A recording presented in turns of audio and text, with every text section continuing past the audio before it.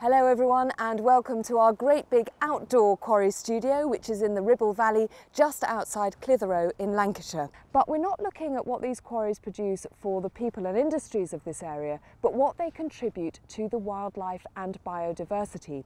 If you talk to people who know quarries they'll tell you that quarries are often better than many nature reserves. Well I've spent the day here, I've met some fascinating people so let's have a look back and see what I've discovered.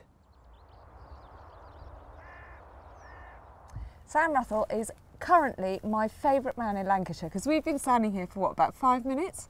And he went, Kate, there's a peregrine up on that cliff. I can't believe you managed to spot it. It was extraordinary. Well, it's just a good eye. It is, a, it is a good eye. It is a good eye. I mean, I know that peregrines like to hang out in quarries like this, but just to see one like that was amazing. When did you first see your first peregrine here? Um, well, I've been here about 10 years, uh, probably in the first fortnight of starting Really? here, yeah. I saw it do its first kill down in the, the quarry bottom there. How amazing. So have you got really into wildlife since you've been working here? Uh, yeah, more, definitely more so, yeah, yeah. Yeah, there's lots going on. I mean, there's uh, ravens nesting up there, not Fabulous. far from uh, where Peregrine is. Um, we've also have an oyster catcher down on the quarry floor there with some eggs at the moment. So we'll- really? Oh, I'd love to. we'll go and have a look at them, eh? That would be So, great. And yeah. what about mammals? Any, any anything else? That you Yeah, we've spotted around here? um, with ba- uh, badgers, with two badger setts, uh, foxes, uh, deer. You see deer early in the morning. You know. Sounds so- like it's sort of like a Disney film. yeah, absolutely. Yeah, absolutely. And do you think everybody's a bit like you that they, they really appreciate having the wildlife around? them? Yeah, definitely. I think it's part of being a quarryman is that. I think if you you know you you're with it every day. You, you, you're with them every day, aren't you? So it's But it is so surprising. You'd think that no bird or animal or plant would want to exist here. oh, not at all. No, it's it's. I think they feel more safe. Well, you promised me that oyster catcher, so can we go and have a Absolutely. Yeah, we'll go and have a look. Yeah. Brilliant. Yeah. All right, I'm following you. Which? Right, That this way. Oh, look at her. You see down there. Oh, three. yeah. Three. There's three. Oh, Yeah. that's lovely. Isn't that astonishing? oh, oh, that was just lovely. I, I just, I would never have thought that a bee colony could thrive at the edge of a working quarry. Well, neither did I really when I started them here. Uh, but surprisingly, they've done really, really well. The air quality around here appears to be fabulous. Uh, you can see from the, the flora and the foliage around here that uh, you know everything looks nice. The insect life is so varied around here, and the bees have settled in well uh, along with the other insects here, and they're thriving. But is there enough food to sustain them throughout a year? Well, there appears to be because they're filling up the uh, the supers with honey, and they must be getting it from somewhere. Uh, there's lots of wild strawberry about. There's an amazing number of wildflowers around in that quarry. And of course, the other thing that's really important is that honeybees are having a terribly hard time at the moment. Yes, they are, and surprisingly, my colony seem to have done all right. I don't seem to have been affected too much with the losses that other people have suffered. So, do you think perhaps the long term future and health of the honeybee could be to keep them in quarries from now on? Not in this one, because this is my place. Come on, let's have a look at your honey. okay. Look at them, aren't they just magnificent things? They're just. Now, this is only half full, but if you feel the weight of that, if you want to hold that, That's there's a about a pound and a half. there, isn't yeah, there? there's about a pound and a half on there already, oh, and the that's smell. you can smell it. Oh, The it's nectar is- wonderful. this is gradually being evaporated. Hello, everyone. Hello. Hi, you must be Phil. I am. Nice to see Pleased you. Nice to meet you. Look at this. This is absolutely incredible, Phil. It's a fantastic place. It's just got loads of different habitats.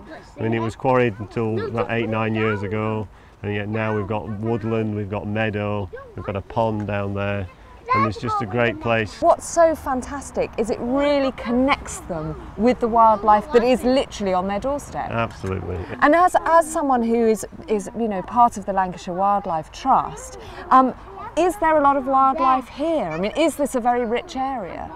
Generally, yes, it is. We've got limestone grassland, which has got some of its own peculiar species, but we've got woodland, we've got water, the river's just nearby. So we've got just great habitat around, which means there's all sorts of wildlife in this area. I think we'd better stop talking and get bug hunting. What have you found? Look at Right, you go. that. They're eggs. They're fantastic. At a rock quarry like this one, the biodiversity potential is very different from, say, a sand and gravel quarry. So to find out what's being achieved at a sand and gravel site, we're going to visit Lafarge Aggregates at Panshanger Park in Hertfordshire. Well, this, this is a river Mimram, which really runs right through the middle of the Panshanger quarry. Um, it's well known for its brown trout. In fact, it's probably one of a very few chalk streams that's still left in Hertfordshire apart from brown trout, we have got grayling in here. Um, we do quite a lot of management on the river uh, with the help of the Environment Agency, um, as we've put logs in here to try and speed the flow up in places and also create bays in other places. This was the first lake again that we'd quarried. And this has probably been restored about six and a half years um, in the winter time, apart from the swans and coot and moorhen and Canada geese that we have on this site, we have a lot of overwintering duck. Uh, there's quite a lot of pochard, mallard, gandering. There, is, there are a lot of duck that come here in the winter time. But this is the last area to be restored. It's now going into a five-year aftercare and it will be put in conservation cropping for different species, for birds, butterflies, and such like. The area you can see over there in the green is an area that we put in last year, which is American sweet clover. I think, really, I think as a gravel operators, I don't think anybody realises how much land management we do. And I know this estate was um, laid out by Repton and Capability Brown, but I think if you come back today, you wouldn't be disappointed on what we've done. Now, Bernie Higgins is employed by Tarmac as a biodiversity officer. Is that just a box ticking exercise by Tarmac, do you think? Definitely not. Um, during 2003, the company decided that um, they would put in or install biodiversity plans at all of their sites, which is around about 120 sites in this country. what does that actually mean? That means that we've put in plans at these sites where we initially got um, ecologists in to do the surveys and work out a draft plan for each quarry. So each quarry site is site specific. And that means that we not only uh, find out what biodiversity we have there, it means that we then manage it and we also enhance it. In Northumberland, for instance, we've got the Northumberland Wild Trust accreditation or the benchmark on seven of our sites up there and this is what we intend to extend throughout the rest of the country as time goes on. Now John Drayton here joined Cemex UK back in 1970 as a carpenter, but we're not going to be talking about carpentry, are we? No, we're certainly not. Well, so far we have been concentrating on the wildlife that inhabits quarries today. But, of course, quarrying uncovers the prehistoric world. And we're sitting on a bench made entirely out of fossils.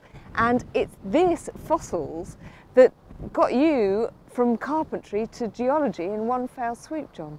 Yes, I uh, went, was actually the quarry manager and the Open University come in, so visitors all the while, and they found a shark's tooth with me. And this is a shark's tooth which I found, which is a hundred million years old. Incredible. So once you found this, were you just looking out for fossils all I the time? I just then went and looked out and started researching, started asking all the geologists that come in what the different things. And you've got some astonishing things here. Talk me through some And then we've got this, which is an ammonite. I've got ammonites of all sizes. What's this curious looking This thing curious here? thing is a piece of coprolite. It's a phosphatic nodule Right. which was in the seabed 100 million years ago, dinosaurs dung. You're kidding. No, it's a That's a piece of dinosaur poo. Yeah, and I go to do a lot of talks for these for the schools, and as soon as I take it to the school, the kiddies get hold of it, smell it, and say, "Phew." and I say, "Don't worry, I washed it before I come out, but it's 100 million years old." That's absolutely incredible. Well, that's it from Clitheroe, but before I go, I'd like to leave you with just one little nugget of information. Did you realise that if you added together all the nature reserves created by quarrying, you'd have what amounts to a national park? Now, the MPA have realised that there's massive potential in this area, and they've put together an action plan to really make the best of this largely unrecognised asset. So watch this space.